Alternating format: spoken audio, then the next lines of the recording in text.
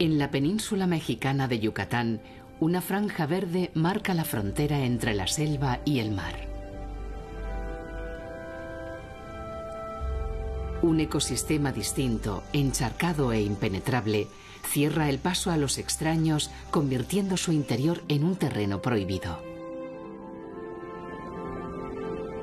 Es un mundo intermedio entre el mar y la tierra, un mundo donde animales y plantas se confunden, un laberinto donde cada sombra esconde una sorpresa y cada árbol un soporte para la vida.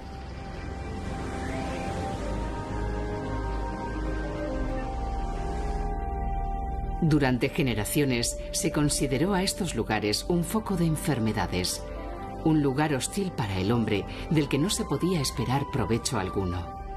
Pero la realidad es muy distinta.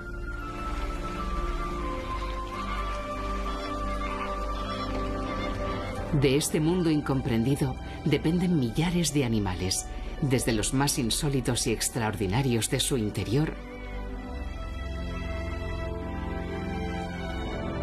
hasta los más insospechados y gigantescos habitantes del ecosistema marino.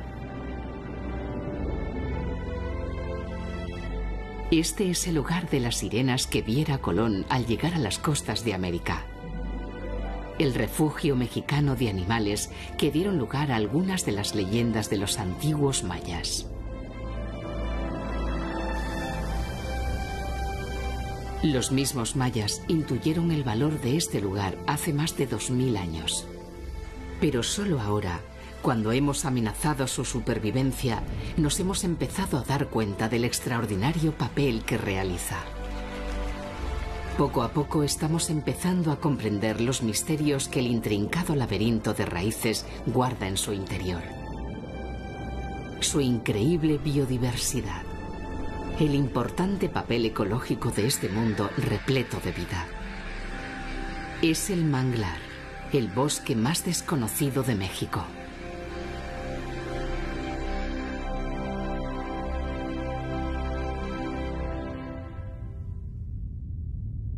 Solo tres países en el mundo tienen más manglares que México. Casi 800.000 kilómetros cuadrados de sus costas están cubiertos por bosques de mangles. Y la península de Yucatán tiene la mayor parte.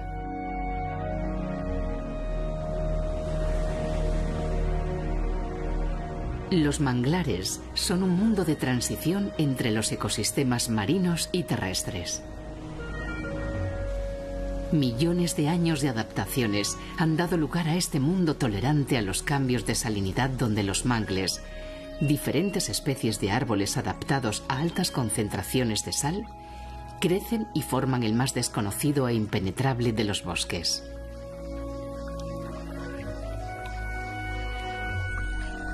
En la primera línea de costa, frenando el mar, los mangles rojos se fijan al suelo lodoso con enormes raíces.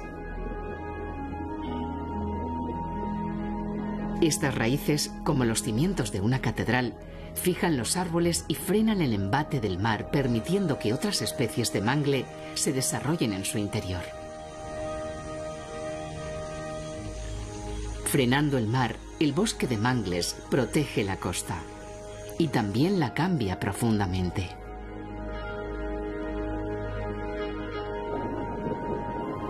El lecho del manglar está cubierto de hojas que se depositan sobre el sedimento descomponiéndose y generando una gran cantidad de alimento. Una sola hectárea produce más de 10 toneladas de hojas al año, compitiendo en productividad con los mejores pastizales ganaderos. Y donde hay comida, aparecen los comensales.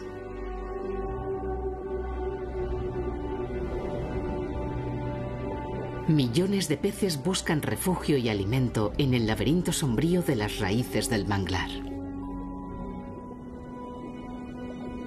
El agua, cargada de nutrientes, se convierte en una sopa alimenticia que también aprovechan los invertebrados. Esponjas, ascidias, estrellas de mar, un mundo de formas vivas tapiza las raíces bajo el agua filtrando el nutritivo caldo.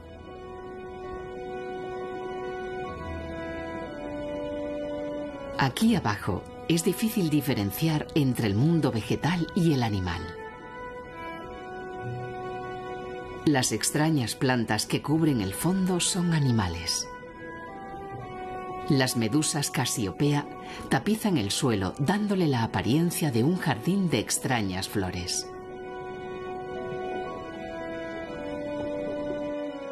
En el interior de los tentáculos de las Casiopea viven unas algas fotosintéticas con las que se han unido en simbiosis.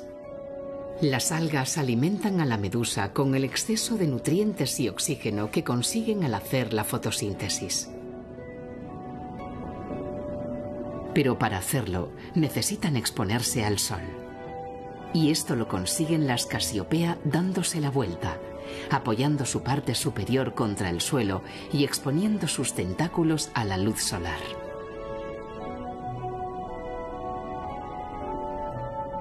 Son tan numerosas que el suelo parece un jardín, pero un jardín donde todas las plantas son medusas volteadas.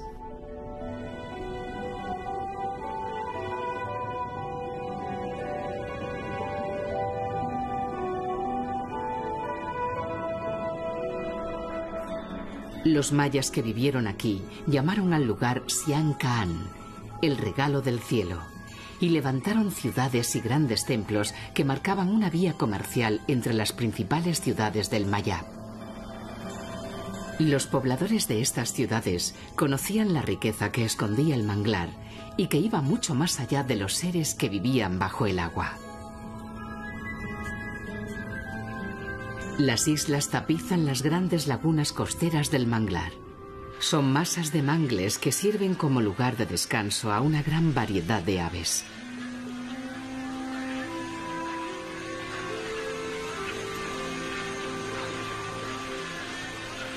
En la reserva de Sian los tántalos americanos descansan después de una larga excursión de pesca.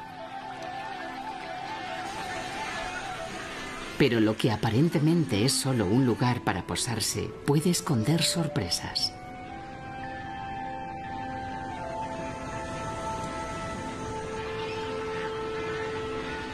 En el interior de muchos de estos islotes, las aves buscan intimidad y protección para hacer sus nidos y traer al mundo a sus polluelos.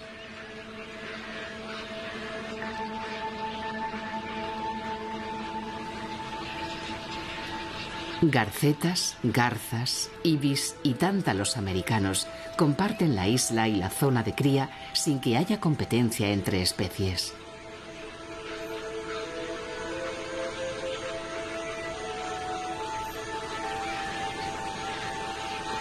Aunque eso no quiere decir que no haya ciertos roces cuando un padre se equivoca de nido.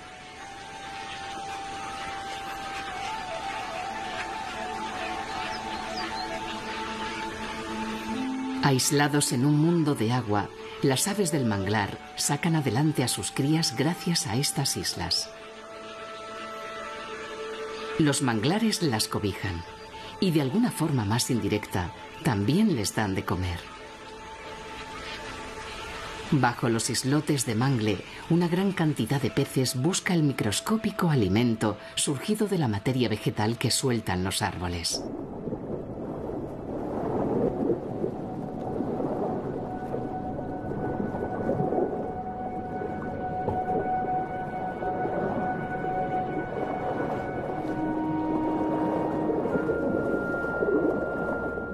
Los peces de pequeño tamaño se juntan por millares bajo estas islas y atraen inevitablemente a los grandes cazadores del manglar.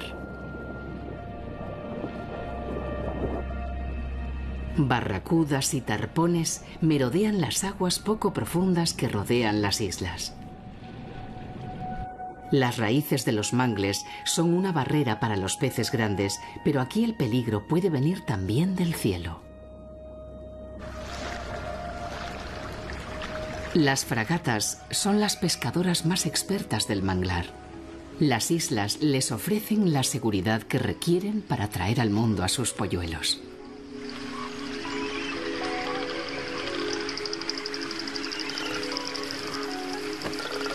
Las raíces de los mismos árboles donde hacen los nidos son un refugio para los peces y se convierten así en una despensa permanente.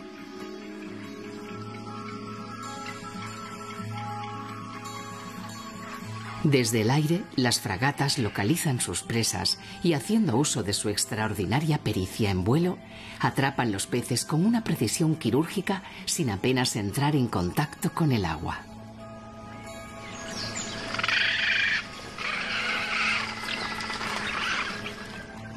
Solo tocan el agua con la cabeza, un poco con el pecho y en contadas ocasiones con la cola.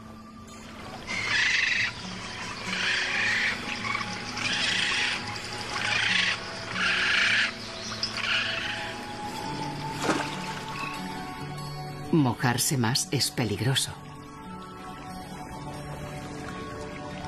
Esta forma de pescar tiene su razón de ser. A diferencia de otras aves marinas, las fragatas no pueden mojar mucho sus plumas. El aceite con el que las impregnan no es suficiente para que el agua no las empape. Si caen al agua, no podrán volar y se ahogarán. Pero su habilidad en el vuelo evita que tengan que sumergirse. El problema es que hay muchos competidores. Y algunos juegan sucio.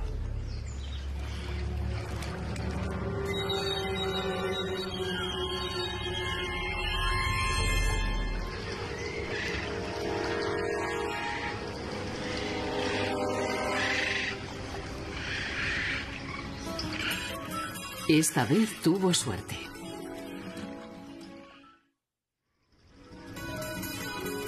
El manglar es un sistema abierto íntimamente relacionado con el mar. Hacia el exterior, más allá de las últimas raíces del mangle, se extiende una pradera submarina donde los pequeños peces salen a diario en busca de alimento. Los tarpones y las barracudas son temibles cazadores de las praderas submarinas. Pero en el sustrato, entre las algas, algunos expertos en camuflaje pasan desapercibidos a los depredadores. Un pez murciélago se muestra inquieto. Entre las algas es más visible que sobre la arena y hay cazadores por todas partes. No sospecha que, con su extraño aspecto, ninguna barracuda pensaría que es un pez viéndolo desde arriba. Así que cuando dos de ellas se acercan demasiado, prefiere emprender una rápida huida.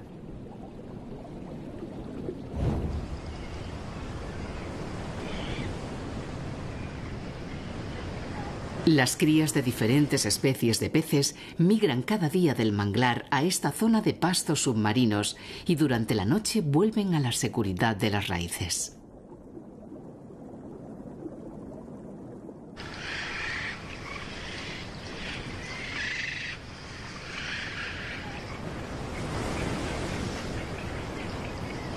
En las praderas submarinas hay cazadores que se dedican a atrapar peces de mayor tamaño. Cerca de los arrecifes de coral del Banco Chinchorro, al sur de la península de Yucatán, un cocodrilo americano camina bajo el agua.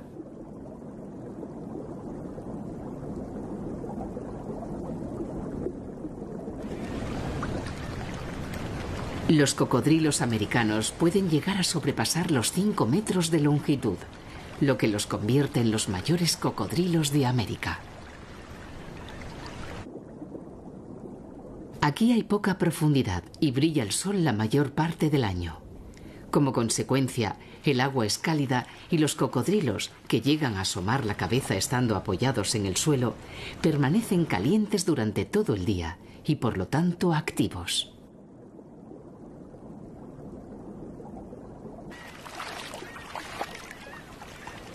Los cocodrilos jugaban un papel relevante entre los mayas se les asociaba con la fertilidad a través de Chak, el venerado dios de la lluvia. De los cocodrilos dependía que las lluvias llegaran a tiempo para fecundar la tierra y que ésta diera buenas cosechas.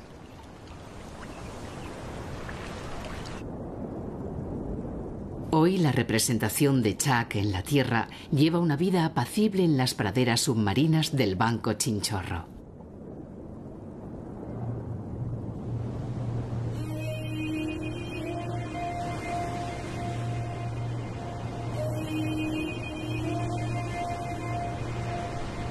Más allá de las praderas submarinas, como última barrera con el mar abierto, está el arrecife de coral.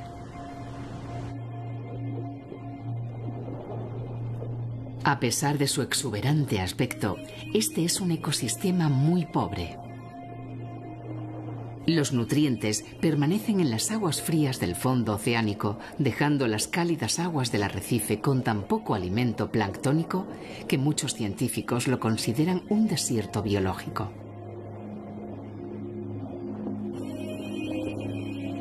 Y sin embargo, la vida se multiplica en organismos de todas las formas y colores imaginables.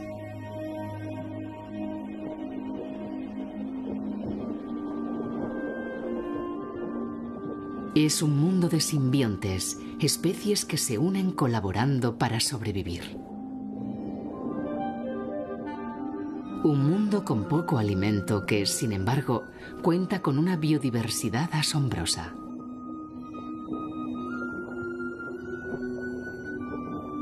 Los predadores del arrecife son muy numerosos. La mayoría de las especies que viven aquí se protegen de ellos escondidos entre las rocas y el esqueleto calcáreo de los corales. Cada cueva, cada resquicio de este fondo irregular, se aprovecha como un refugio para esconderse de los cazadores. Otros más afortunados llevan a cuestas un escudo contra los cazadores.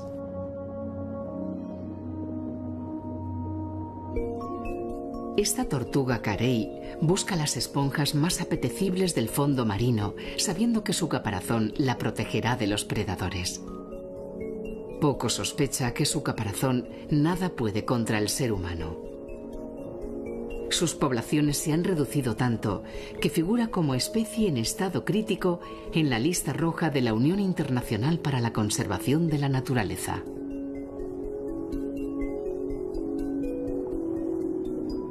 Las esponjas constituyen la mayor parte del alimento de las carey del Caribe. Es parte de una dieta que incluye algas, anémonas, medusas y otros nigdarios. Una colección de especies altamente tóxicas y que a las carey parece no afectarles.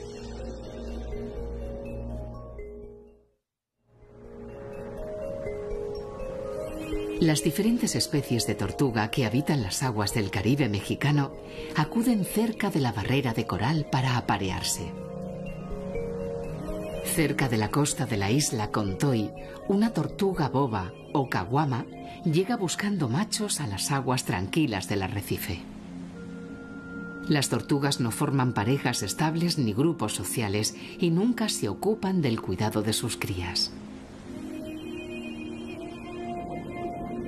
Viven una vida solitaria en mar abierto. Quizás por ello se sabe muy poco de sus costumbres y sus ritos de apareamiento. Los competidores rondan a la hembra y buscan su oportunidad. Aunque la encuentren apareándose, no se dan por vencidos. Las tortugas marinas, como las terrestres, pueden almacenar el esperma de distintos machos durante largos periodos de tiempo.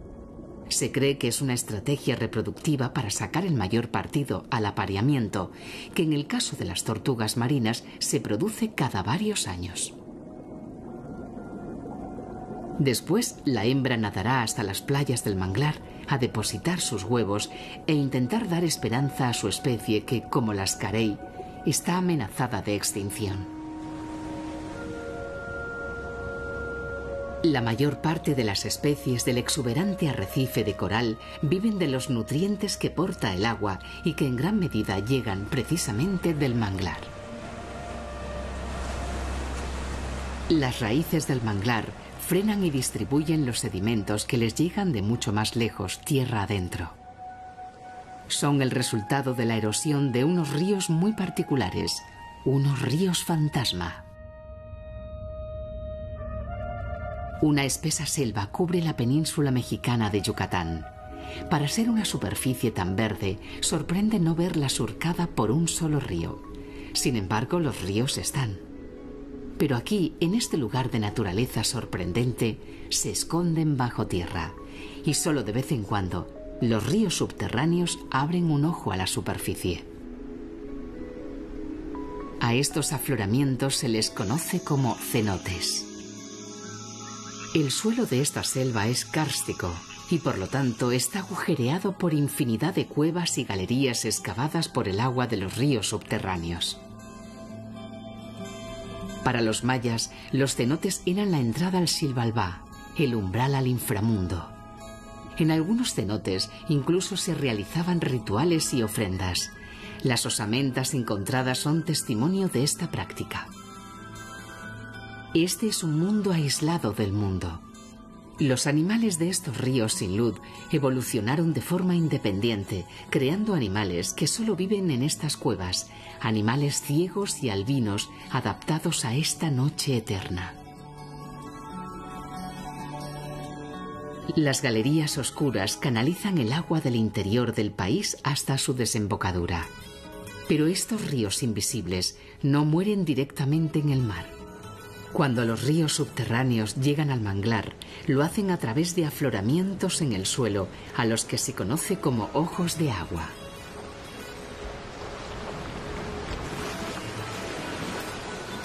El agua dulce brota en los lagos salinos del manglar, aportando el sedimento que los ríos han erosionado desde su nacimiento. Los sedimentos y la mezcla del agua dulce y salada atraen infinidad de peces que merodean el ojo de agua. El surtidor de agua dulce despeja la turbidez de la laguna y permite ver grandes bancos de pargos que llegan atraídos por la diferencia de salinidad, creando un incesante movimiento.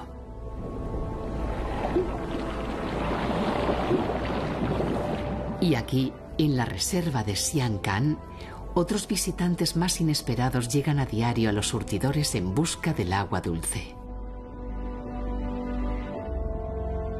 Los manatíes caminan ocultos al mundo exterior gracias a la turbidez del agua superficial. Nadie sabe a ciencia cierta por qué llegan aquí. Pero, movidos por una llamada invisible, estos gigantescos pacíficos dejan las praderas submarinas donde comen la mayor parte del día y vienen a los ojos de agua. Para los mayas que habitaron estas tierras, los manatíes tenían un vínculo con los humanos. Aunque los cazaban y se los comían, los respetaban porque los consideraban un símbolo de maternidad, por la forma en que las hembras cuidan a sus crías. A pesar de poder aguantar hasta 24 minutos sin respirar bajo el agua, los manatíes suben con frecuencia a la superficie, toman aire y vuelven lentamente a la seguridad del fondo.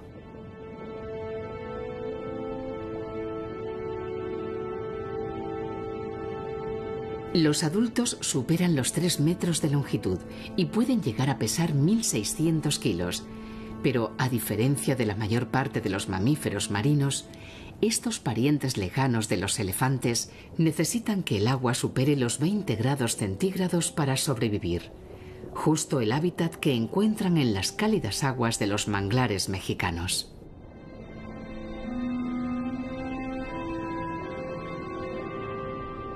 Aquí abajo nadie los molesta.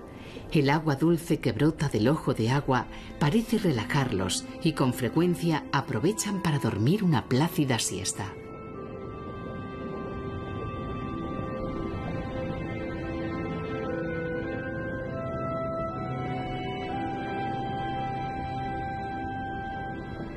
Después, con calma, vuelven a las praderas submarinas para comer, impulsados por una cola plana y poderosa que sustituye a unos cuartos traseros que los manatíes perdieron con su adaptación al agua.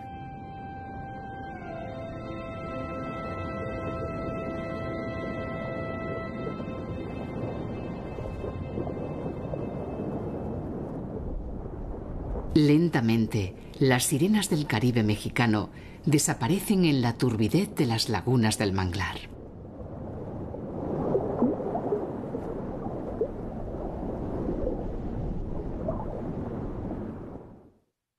Los sedimentos que los ríos depositan al desembocar en el manglar se van acumulando en extensas lagunas costeras.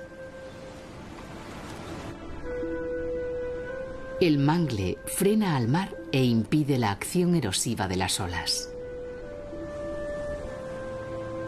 El resultado son enormes extensiones de inundación, donde el agua dulce y salada se mezclan creando un asombroso caleidoscopio de paisajes.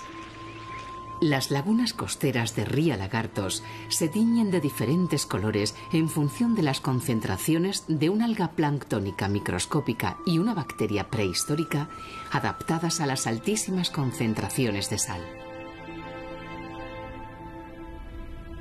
Los hombres aprovechan la riqueza natural de estas salinas, dando lugar a una retícula asombrosa desde el cielo.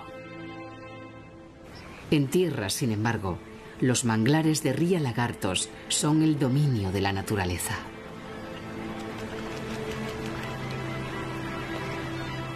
La mezcla de aguas genera mucho alimento microscópico. Proliferan las algas, las larvas, los pequeños crustáceos, por cada uno de ellos hay aves especialistas en devorarlos. Y entre todos, los más especializados y llamativos son los flamencos.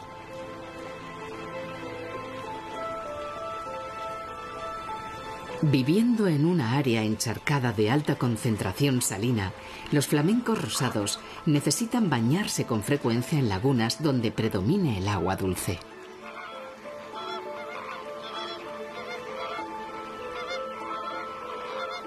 Es la forma de desprenderse de la sal que se les adhiere al cuerpo y de cuidar un plumaje que necesitarán para sus vuelos diarios hasta las lagunas donde se alimentan.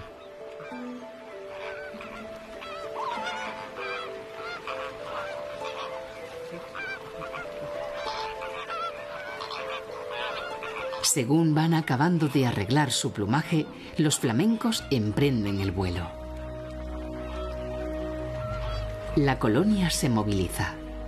En grupos pequeños vuelan hacia las extensas lagunas de la reserva buscando lugares de poca profundidad donde encontrarán su comida. Para comer, los flamencos necesitan lagunas poco profundas donde utilizan sus patas zancudas para revolver el lodo levantando sus presas casi invisibles. Entonces sumergen sus cuellos largos hasta el fondo y con sus picos especiales bombean y filtran el agua atrapando a sus presas en un proceso similar al que utilizan las ballenas para comer el krill.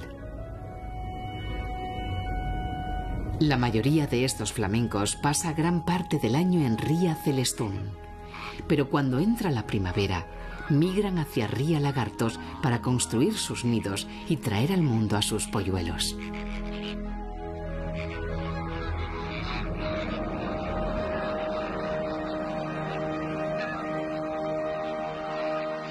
Esta es la mayor colonia de cría de flamencos de México.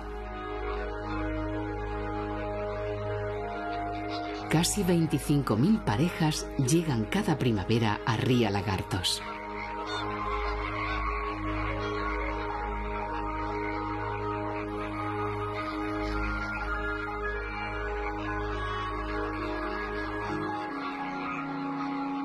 Los machos, de mayor tamaño, estiran sus cuellos en un desesperado intento por llamar la atención de las hembras. Si el efecto de parecer más grande estirando el cuello no funciona, siempre queda la opción de abrir las alas. Y si aún la cosa falla, queda la táctica de seguir a la pretendida hasta que claudique.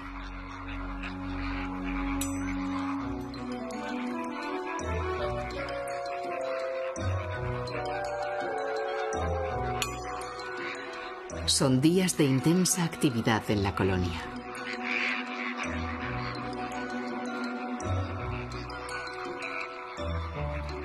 Nuestro macho lo intenta entre un sinfín de competidores con los que tiene que discutir. Hasta que la perseverancia da sus frutos.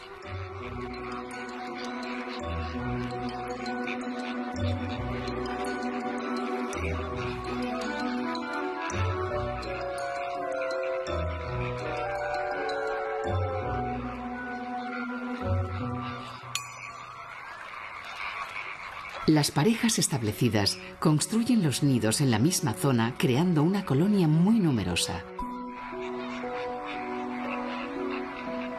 Alrededor de 50.000 flamencos se reúnen en esta ruidosa colonia.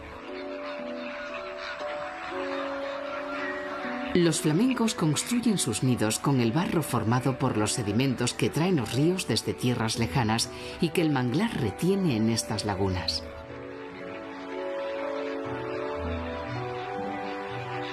Cada pareja pone un solo huevo en su nido. Hay tantos nidos juntos y tal densidad de flamencos que con frecuencia se producen pequeñas riñas.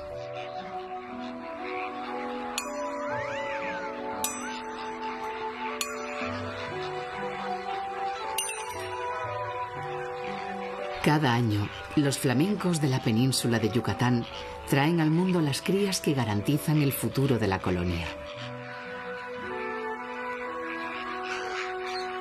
Y lo consiguen gracias al papel silencioso e inadvertido del manglar.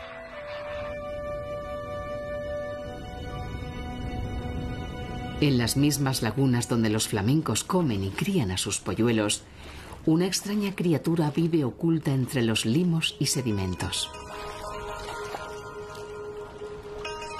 Como surgidos de la prehistoria, los límulos o cangrejos cacerola aprovechan también la riqueza de los sedimentos que atrapa el manglar. Aunque se les denomina cangrejos, estas extrañas criaturas son en realidad parientes lejanos de los trilobites, una especie prehistórica más emparentada con las arañas que con los cangrejos. Los límulos se alimentan de gusanos y moluscos que viven en el suelo fangoso de las lagunas. A diferencia del resto de los quelicerados, el grupo taxonómico al que pertenecen cuentan con dos grandes ojos compuestos a ambos lados de su concha. Otros cinco ojos más simples se disponen en la parte superior. En la parte ventral, cerca de la boca, otros dos les ayudan a orientarse. Y una serie de sensores lumínicos en la cola terminan esta extraordinaria colección de ojos.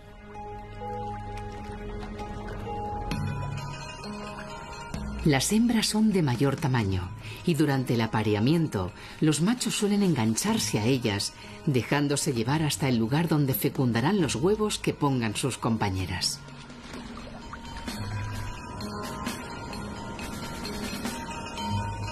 Después de aparearse, los adultos buscan fondos con mayor profundidad. Las lagunas más cercanas al mar van cambiando y las algas proliferan paulatinamente.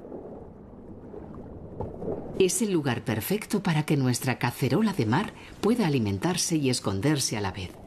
Así que con una rapidez sorprendente emprende su camino.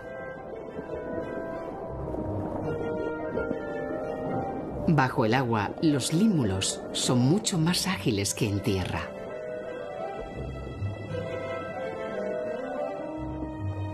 En su camino hacia el bosque de algas se encuentra con otros congéneres que empiezan a esconderse en el fondo.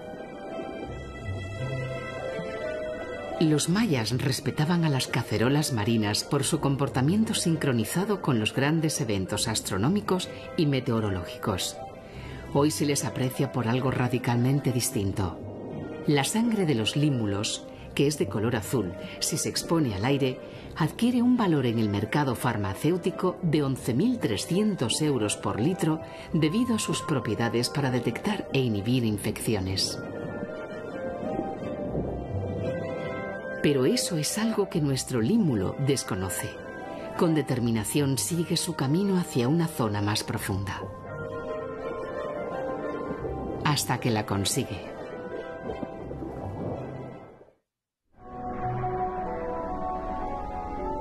El manglar es un sistema abierto que protege la selva del interior y ayuda al arrecife. Muchos científicos consideran que si la selva es el pulmón del mundo, el manglar es su hígado y sus riñones. Un gigantesco filtro biológico capaz de purificar el agua que llega de los ríos continentales, fijar sus sedimentos y aportar agua limpia a la costa y al mar. Los sedimentos y las hojas de los mangles crean las condiciones para que miles de animales vivan y se alimenten bajo sus raíces. Parte de esos animales son tan pequeños que no se pueden ver a simple vista. Las aguas purificadas que vierten al mar desde el manglar van cargadas de pequeñas larvas y algas diminutas que se integran en el ciclo vital del océano, alimentando a millares de pequeñas criaturas invertebradas. También son el alimento de los pequeños peces del arrecife que atraen a peces más grandes que se alimentan de ellos.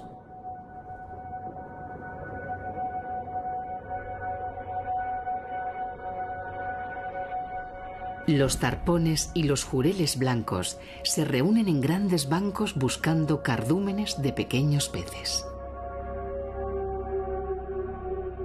No son los únicos en acudir en busca de alimento, aunque curiosamente los mayores peces del arrecife llegan buscando los diminutos seres que aportan las aguas purificadas del manglar.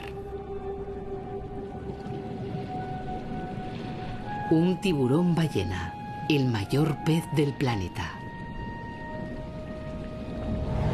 Los tiburones ballena acuden todos los años a las aguas del Caribe mexicano bien entrada la primavera.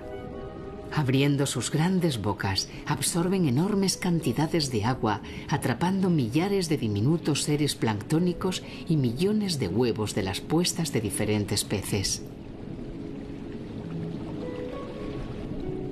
Unos seres microscópicos que alimentan 14 metros y hasta 34 toneladas de pez.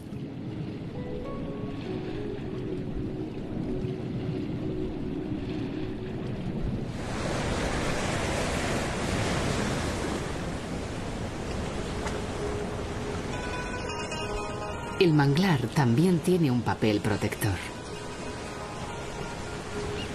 Durante el año, el sol calienta la superficie del Atlántico, evaporando grandes cantidades de agua. Según pasan los meses, el calor del océano crece y la concentración de humedad va cargando la atmósfera. Los vientos del oeste desplazan grandes concentraciones de nubes hacia el Caribe. Y al final del verano, el sistema descarga su tensión con una fuerza devastadora.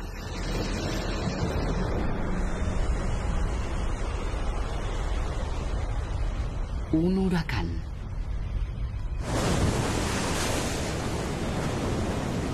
Hombres, animales y plantas sufren la violencia del viento y del mar.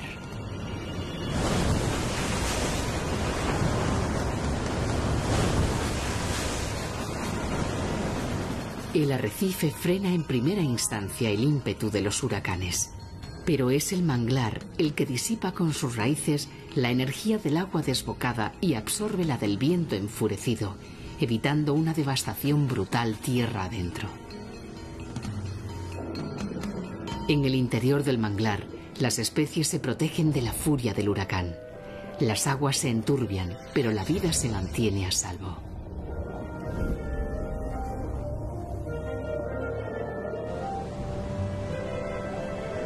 Cuando el clima se calma, todo vuelve a su lugar.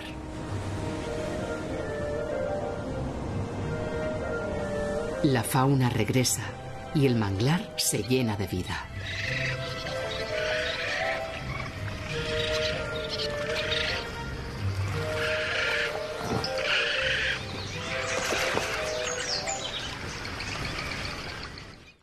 Los mayas aprovecharon el manglar y muchos de sus asentamientos se levantan frente a bosques de mangles. Su conocimiento del medio natural les hacía aprovecharse de diferentes especies del área encharcada. Cazaban aves, comían huevos de tortuga, pescaban sus peces y disfrutaban la carne de los manatíes.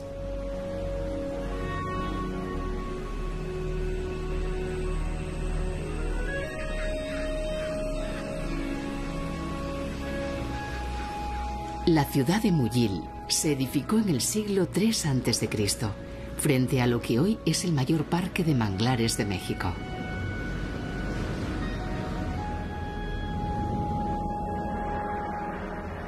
Los mayas comprendían que el manglar era una fuente de riqueza y un protector imprescindible para el desarrollo de sus vidas.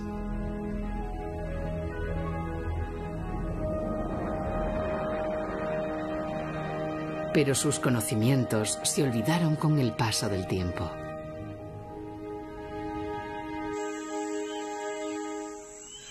Los manglares perpetúan la vida del arrecife y las praderas submarinas. Retienen el suelo evitando la erosión de las tierras continentales. Protegen el interior del embate del mar y del viento. Y filtran y purifican las aguas continentales que vierten al mar. Se convierten así en refugio y fuente de alimento de infinidad de animales, grandes y pequeños. Y sin embargo, están desapareciendo.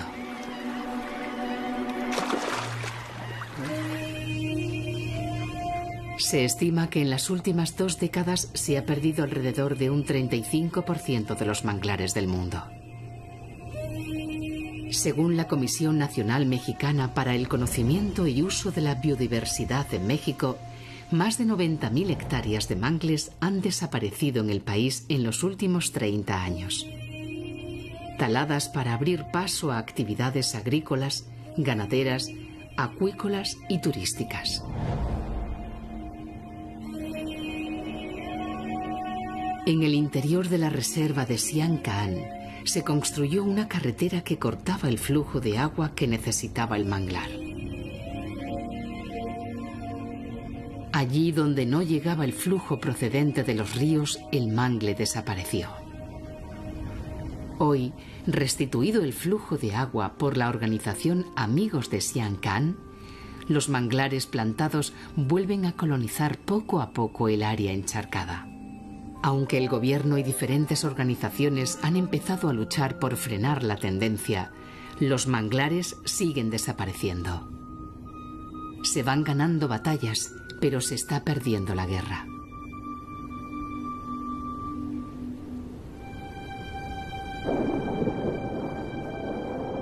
Ajenos al peligro que se cierne sobre ellos, los manatíes vuelven a la seguridad del manglar para descansar y dormir junto al ojo de agua. Bajo el agua, a su alrededor, millares de seres vivos se alimentan, se esconden, cazan, se reproducen. El manglar entero late con una vida extraordinaria que ocultan los mangles como si quisieran proteger a sus criaturas de la ambición ilimitada de los seres humanos. Hoy, la misma especie que bautizó la zona como el regalo del cielo, amenaza su supervivencia. La supervivencia de todos los manglares, de sus especies, de su incalculable riqueza. Quizás nos hemos convertido en una especie tan necia que piensa que el poder económico es más importante incluso que el regalo del cielo.